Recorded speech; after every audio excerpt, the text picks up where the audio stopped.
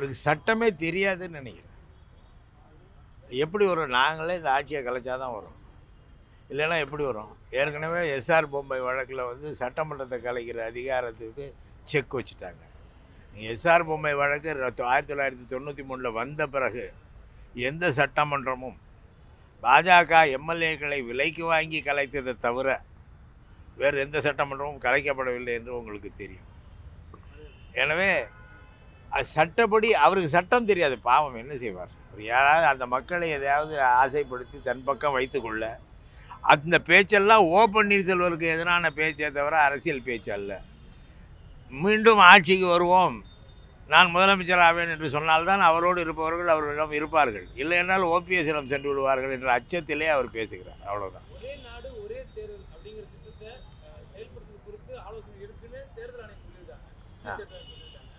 அது அடிப்படையாக தான் அவர் இந்த வாக்குறுதியை வெளிப்படையில் பேசுறதா? இப்போ கர்நாடகா தேர்தலில் தள்ளி வச்சிருவாங்களா? இப்போ நடக்க போதே தேதி அறிவிச்சிருக்காங்களே ஒரே நாடு ஒரே தேர்தல்னால் கர்நாடகத்துக்கு தேதியை வந்து அவங்க தள்ளி வைக்கணும் அல்லது அடுத்த வருஷத்துக்கு வைக்கணும் இல்லையா? அரசின் கொள்கையாக அதை சொல்லி கொண்டிருக்கிறார்களே தவிர அது நடைமுறை சாத்தியம் இல்லை என்பது அவர்களுக்கும் தெரியும். இந்த உலகத்திற்கே தெரியும். ஒரே ஒரு உதாரணம் சொல்கிறேன். ஆயிரத்தி தொள்ளாயிரத்தி தொண்ணூற்றி ஆறாம் ஆண்டு ஒரு நாடாளுமன்ற தேர்தல் நடைபெற்றது. தொண்ணூற்றி எட்டுலேயே அந்த நாடாளுமன்றம் கலைந்தது. மீண்டும் தொண்ணூற்றி ஒன்பதுலே அந்த நாடாளுமன்றமும் கலைந்து மறுதேர்தல் வந்தது. இது மூன்று முறை அந்த மூன்று ஆண்டுகளில் தேர்தல் வந்தது. அப்பொழுது எல்லா சட்டமன்றத்தையும் கலைத்து விட்டு ஒரே நாடு ஒரே தேர்தல் என்ற பெயரில் ஒரே நாளில் வைப்பார்களா? இதெல்லாம் அவர்கள் இந்த நாடு ஒரு நாடு. அதனாலே ஒரு தேர்தல் நடத்த வேண்டும் என்று ஏதோ அவர்கள் எல்லாரும் இது ஒரு நாளா இல்லையாங்கிறத பற்றியெல்லாம் கவலைப்படாமல் இதனுடைய வரலாறு தெரியாமல் பேசுகிறார்கள். ஒரே நாடு அடுத்த ஆண்டு தமிழ்நாட்டில் சட்டமன்ற தேர்தல் வருகிறது என்று எடப்பாடி உறுதியாக சொன்னால் அவர் முதலில் மோடியை சந்தித்து கர்நாடக தேர்தலையும் அத்தோடு சேர்த்து வைத்துக் கொள்ளுங்கள் என்று சொல்ல வேண்டும். சார் இன்றைக்கு டெல்லியில் வந்து சமூக நீதி கூட்டமைப்பினுடைய மாநாடு நடைபெறுது. ஏற்கனவே திராவிட முன்னேற்ற கழகத்தினுடைய தலைவரும் முதலமைச்சருமான மு க ஸ்டாலின் அவருடைய பிறந்த தினத்தில் தேசிய தலைவர்கள் கலந்து கொண்டாங்க. இதுலேயும் கிட்டத்தட்ட ஒரு பதினாறு தேசிய தலைவர்கள் கலந்து கொள்வாங்க இது வந்து இரண்டாயிரத்தி இருபத்தி நான்கு அந்த தேர்தலுக்கான ஒரு முன்னோட்டமாக பார்க்கணும். இல்லை. அகில இந்திய சமூக நீதி கூட்டமைப்பு என்பது நெடுங்காலமாக நடைபெற்று வருகிறது. சமூக நீதி கொள்கையிலிருந்து சில ஆட்சியாளர்கள் சரியாக செயல்படவில்லை என்றால் அவர்களை கண்டிப்பதற்காக சமூக நீதியின் தேவையை உணர்த்துவதற்காக முன்னாள் நீதியரசர் ஒருவர் தலைமையிலே அந்த அமைப்பு செயல்பட்டு வருகிறது. அவர்கள் சில நம்ம ஏற்கனவே சில கருத்தரங்கங்களை நடத்தி இருக்கிறார்கள் அந்த வகையிலே இன்றைக்கு நடைபெற உள்ள கருத்தரங்கமும் அமையும். இந்த பாஜக அரசு சில சிக்கல்களை ஏற்படுத்தி வருவது குறிப்பாக ஐஐடி போன்ற நிறுவனங்களில் இடஒதுக்கீடு முழுமையாக கடைபிடிக்கப்படுவதில்லை. ஐஐடியில் படிக்கிற மாணவர்கள் சமீபத்தில் கூட அவங்களுக்கு தெரியும். ஒரு இஸ்லாமிய மாணவி தற்கொலை செய்து கொண்ட தகவலெல்லாம் அவங்களுக்கு தெரியும். இது போன்ற ஐஐடியிலே பிற்படுத்தப்பட்ட தாழ்த்தப்பட்ட சிறுபான்மை மக்களுக்கு ஏற்படுகிற ஆபத்துக்களை எல்லாம் எடுத்து சொல்லும் விதமாக சமூக நீதியிலே அக்கறை உள்ள கட்சிகள் அனைவரையும் ஒன்றிணைத்து இந்த மாநாட்டை அவர்கள் நடத்துகிறார்கள். இது இந்த தேர் இந்த நேரத்தில் தேவையான ஒன்று. ஆனால் இது அரசியல் களத்துக்கான மாநாடு அல்ல. சமூக நீதியை உயர்த்தி பிடிக்கிற மாநாடு நவீன் பட்நாயக் ஜெகன்மோகன் கட்சி அவங்க கட்சி சார்பில் யாருமே கலந்துக்கல குழந்தைகளை என்ன பதில் கொடுத்துருக்காங்க நவீன் பட்நாயக் பெரும்பாலும் அந்த கட்சி பாஜக ஆதரவோடு செயல்படுகிற கட்சியாகவே இருக்கிறது. ஜெகன்மோகன் ரெட்டி என்ன என்று தெரியவில்லை.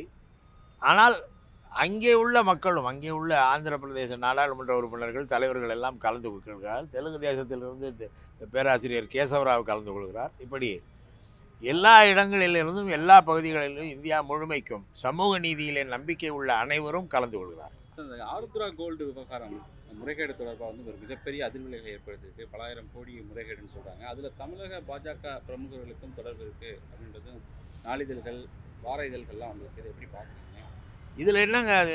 எவ்வளோ கோடின்னு சொல்லுங்கள் எனக்கு தெரியல. ஏன்னா அறுபத்தெட்டாயிரம் கோடி ரூபாய் இன்னைக்கு பல ஒரு பத்து பன்னிரெண்டு பணக்காரர்களுக்கு வங்கி கடனை தள்ளுபடி செய்ததாக இன்றைக்கு ஒரு செய்தி வந்திருக்கிறது. கோடிகளில் பணக்காரர்களுக்கு உதவுவது இது போன்ற தவறு செய்பவர்களுக்கு உதவுவது என்பது அதற்காக தான் பாஜக ஆட்சி நடத்துகிறது. பாஜக நாங்கள் சொல்வோம் எங்கள் தலைவர் சொல்வார் சொன்னதை செய்வோம் சொல்லாததையும் செய்வோம் என்று. பாஜக தலைவர் மோடி அவர்கள் சொல்லாமல் ஒன்றை செய்கிறார். சொன்னதை செய்ய மாட்டோம் சொல்லாததை செய்வோம் என்று சொல்கிறார்.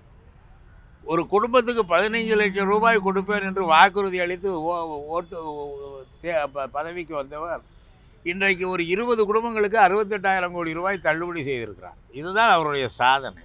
எனவே பெரிய ஊழல் இது போன்ற விஷயங்களிலெல்லாம் மோடி என்பவர் பணக்காரர்களின் புரோக்கராக செயல்படுகிறார் என்பதுதான் எங்கள் குற்றச்சாட்டு. அவர் மக்களுக்கான ஆட்சி நடத்தவில்லை. ஒரு சில பணக்காரர்களுக்கான ஆட்சி நடத்துகிறார். இது வெளிப்படையாக தெரிகிறது.